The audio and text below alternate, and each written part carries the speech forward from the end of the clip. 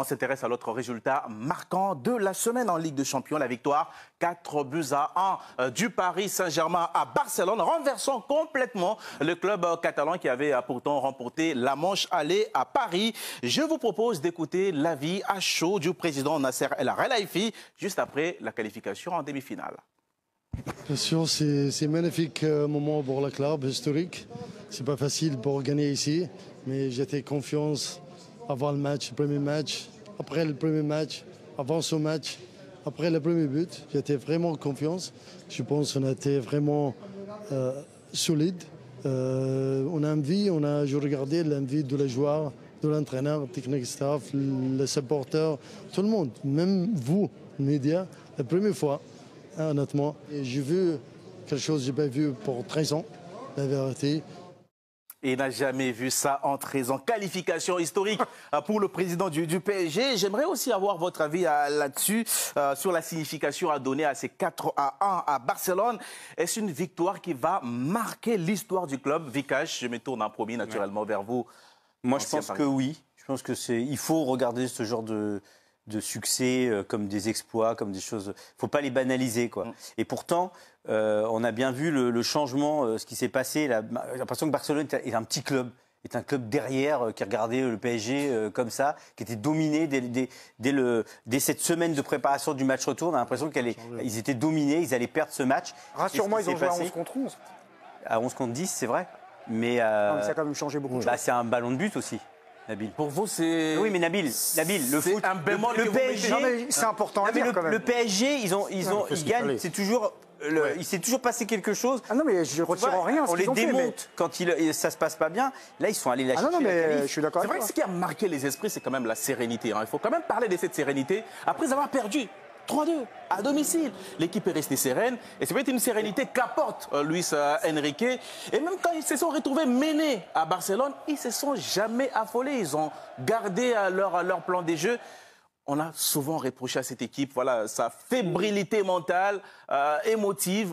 Mais là, c'est quand même quelque chose. Il s'est passé quelque chose. J'ai trouvé qu'ils ont, ils ont réussi à se mettre au niveau parce que. Mm, et dire que c'est un grand exploit, c'est une grande performance, mais ce club a connu des époques avec Ginola, avec Ouéa, ou des demi-finales. Avec Vikash en finale de la Coupe de France. où, ils, où, y allaient régulièrement. Donc oui, c'est un, un, grand résultat pour le PSG, mais ça marque l'histoire du PSG il, faudrait qu'ils aillent plus loin. mais non. mais non, c'était la question, c'est est-ce que c'est un, succès historique Oui, c'est un succès historique. je pense. C'est la première fois une grande victoire, je dis. C'est la première fois. Non, historique. La première fois qu'un club français se qualifie en Ligue des Champions au match retour après avoir perdu le match aller. On est vraiment à la rue. alors, sur, les mots, c'est pas ça la vraie question. Non, bah si. Ben, si Est-ce que ça va marquer l'histoire du club Bah oui. Ah bah non, c'est pas la même chose. Bien sûr que ça marque. Pas du tout la même chose. Bien sûr que ça marque l'histoire. La question, si je dois la préciser, c'est aussi de savoir est-ce que c'est un tournant ce qui s'est passé. Ah oui. Mais bien sûr que Non, mais c'est un tournant pour cette équipe dans la vie de cette équipe depuis l'arrivée de, de Luis C'est une équipe qui a même connu la remontada en 2017. Non, mais ça se joue, ça se joue à peu de choses parce que ça se joue quoi? Ça se joue au pénalty de la 87e quand même contre Newcastle. on ne hein. peut pas répondre à cette que question. Que personne ne veut aller tirer et que Mbappé va tirer, ça faut pas l'oublier non plus quand on critique non, Mbappé. on peut pas... Et pour ce qui est, pour ce qui est de ce match, je trouve que pour une, pour une fois, c'est un grand entraîneur, Luis Enrique, il s'est appuyé sur ses, on va dire, ses axes forts. C'est-à-dire, on met Hakimi, Dembélé, qui jouent bien ensemble sur le côté. Même si chacun a été très bon, mais ils n'ont pas forcément très bien combiné ensemble. Le petit, même si c'est Vitinha qui a pris le lead, Zahir Emery qui est colosse. Et on ne va pas embêter Mbappé. Voilà, et les autres suivent derrière. Moi, je pense qu'il a été bon, Est-ce qu'il y aura un avant et un après? Bah, On ne peut pas répondre à votre question, je vais vous dire pourquoi. Pourquoi? Parce que si euh, ils se font sortir par Dortmund, tout ce, match, là tout le monde va l'oublier. Non, mais c'est... Euh, si... Bon, si derrière, c'est. À l'instant T, aujourd'hui. Ça va être la désillusion. Alors, je ne leur souhaite pas. Je leur souhaite pas. Mais bon, moi, je trouve que. fondateur, ce match. Je trouve que c'est surtout l'histoire d'un tournoi incroyable pour le Paris Saint-Germain. Toute proportion gardée me font penser à la Côte d'Ivoire à la Cannes. Ah. Je m'explique. Il n'y a que des signes dans cette histoire. Premier tour, ils se font euh, ravager par toutes les équipes à l'extérieur. C'est quoi la Guinée équatoriale C'est Newcastle, ils n'ont pas vu le jour. Newcastle, Milan, Dortmund. Ils finissent deuxième. Encore un autre signe il tire la Real Sociedad, le meilleur tirage possible, et une Real Sociedad décimée. Et c'est quoi la Real Sociedad pour, euh, pour euh, la Côte d'Ivoire à jouer le Sénégal en euh, Oui, mais il y a eu, ils ont gagné deux il y a eu quand même un peu de réussite avec Mané, et tout ça. Et le Sénégal, ils n'ont pas été au niveau. bon, en tout cas, c'est l'histoire d'un tournoi, j'ai l'impression. Ah, Ensuite, mm, mm. Ils tombent sur euh, le FC Barcelone. Ils esquivent le, le côté où il y avait Manchester City, le Bayern, Arsenal. C'est la voie, c'est la voie royale. Et encore un autre truc qui tombe du ciel. Contre Newcastle, à- à la 98e minute, ils ont un penalty qui est tombé du ciel. Invraisemblable. Il devait, c'est invraisemblable. Normalement, il devait s'arrêter là. Et là, ils sont dominés par le Barça au score sur le match aller. Oui. Le deuxième match, qui à ce moment-là pensait que le PSG allait retourner le match? Et là, il y a Aroujo qui débarque. Eux, ils y Il y croyaient. a Aroujo qui débarque. Eux, ils y croyaient quand même. Eux, ils y Et croyaient beaucoup. Même toi, tu te disais, c'était pas impossible. moi, avant qu'Aroujo fasse sa bêtise, l'oracle a parlé. Hein L'oracle a Ah parlé. ben là, c'est la Côte d'Ivoire à la canne. C'est la Côte d'Ivoire à la canne. Moi, ça va comme- marquer. Il a un destin hors norme. J'ai l'impression qu'il va aller en finale contre le Real. Ou alors il va être, Et il va- euh, il va être un Il va Westbrook marquer. du, du football. Non mais, non mais Charles, honnêtement. On fait un petit détour. Non mais s'ils perdent contre déjà- Dortmund, qu'est-ce que vous allez nous poser comme question euh, dans, dans trois semaines?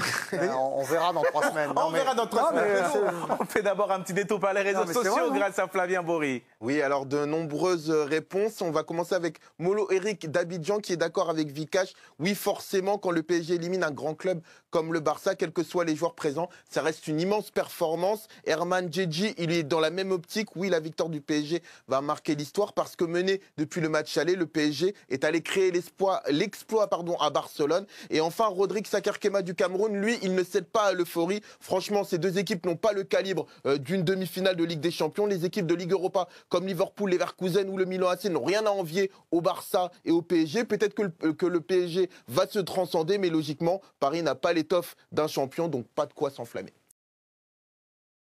Vitinha meilleur que Marco Verratti. Est-ce que tu penses que Vitinha est meilleur que Marco Verratti? On va en parler dans cette vidéo. Salut à toi et bienvenue dans cette vidéo. Dans cette vidéo, on va parler du PSG. On va également parler de la comparaison entre Vitinha et Marco Verratti. Mais avant de commencer, si tu me découvres à travers cette vidéo, ici, on parle de foot. Ici, nous, on n'est pas parcs de foot. Le foot, c'est notre passion. Donc, si tu es intéressé par la thématique et surtout, si tu aimes ce genre de contenu, n'hésite pas à t'abonner, d'activer la cloche de notification pour ne rien manquer des prochaines vidéos qui vont arriver sur la chaîne. C'est fond, parti. Alors, est-ce que selon toi, Vitinha est meilleur que Marco Verratti, les amis? Déjà, donne-moi ton ressenti en commentaire. Est-ce que tu penses vraiment que Vitinha est meilleur que Marco Verratti? Vitinha, franchement, quelle progression Quelle progression Autant l'année dernière, je le trouvais vraiment timide, un joueur qui ne prenait pas ses responsabilités. Autant cette année, moi je trouve qu'il a franchi un cap. Il a clairement franchi un cap.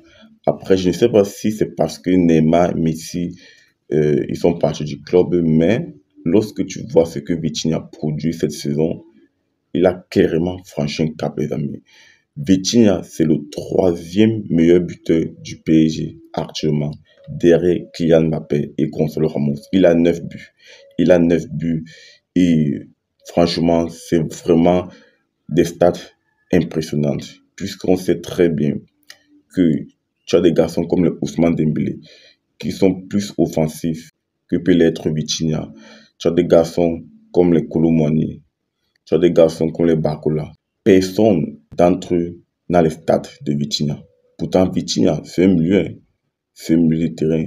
Vitinha, en 80 matchs, il a marqué 11 buts. Donc, la saison dernière, il a seulement marqué 2 buts. Cette saison, il est déjà à 9 buts, toutes compétitions confondues. 9 buts, toutes compétitions confondues, les amis. Si on veut faire un parallèle avec Marco Verratti, Marco Verratti, c'est 11 buts en 416 matchs. 11 buts en 416 matchs, les amis. Pourtant, Vitinha en est déjà 11 buts pour 80 matchs. Donc, tu vois le gap. Tu vois le gap. Et en plus, Vitinha se baisse moins. Vitinha se baisse moins comparé à Marco Verratti qui était blessé quasiment un match sur trois. Donc, pour moi, actuellement, je parle bien d'actuellement, Vitinha pour moi est meilleur que Marco Verratti. Vitinha est meilleur que Marco Verratti. Vitinha peut jouer en 6. Vitinha peut jouer en 8. Vitinha peut jouer en 10. Vitinha est capable de ressortir les ballons dans la pression, chose que fait déjà Marco Verratti. Mais il y a une palette que je trouve que Vitinha a, que ne l'a pas. Vitinha est capable de tirer à distance. Vitinha est capable de tirer à distance. Il prend ses responsabilités, chose que Marco Verratti ne le faisait pas ou très peu. Marco Verratti avait du mal à prendre ses responsabilités. Donc, moi, je trouve vraiment que, les amis, je trouve vraiment que euh, Vitinha, pour moi, il est meilleur. Il est meilleur que Marco Verratti. Il est clairement meilleur que Marco Verratti. Marco Verratti cède il était très fort pour gérer la pression, mais en termes de stats, en termes de buts, pour moi, il est loin derrière Vitinha. Il est clairement loin derrière Vitinha. Au départ, moi, je l'ai pleuré. J'ai pleuré Verratti, mais lorsqu'ils sont en train de voir ce que Vitinha est en train de faire, franchement, c'est vraiment du très très lourd. C'est vraiment du très très lourd. Pour voir un milieu de terrain marquer 9 buts, toutes conditions confondues, ce n'est pas donné à n'importe qui. Ce n'est pas donné à n'importe qui. Voir un milieu marquer 9 buts, toutes compétitions confondues. Les milieux, généralement, tournent autour de, allez, 4, 5 buts. Il faut être un Kevin De Bruyne il faut être un Kevin De Bruyne pour atteindre un tel ratio. Donc, moi, je pense que, moi, je pense que Vitinha, pour l'instant, pour moi, il est meilleur. Il est meilleur que Marco Verratti.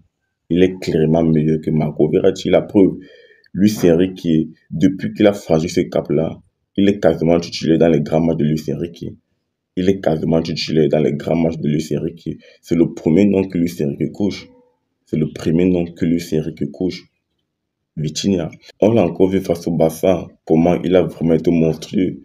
Il a vraiment été monstrueux. Donc, Vitinha, les gars, franchement, c'est vraiment un joueur qui est en nette progression. Il est clairement au-dessus de Marco Verratti actuellement. Il est clairement au-dessus de Marco Verratti. Après, partage-moi ton ressenti en commentaire sur la thématique. Et si ce n'est pas encore fait, n'hésite pas à t'abonner, d'activer la cloche de notification. Est-ce que tu trouves que Vitinha est mieux que Marco Verratti actuellement? Si c'est déjà très bientôt. Ciao, ciao.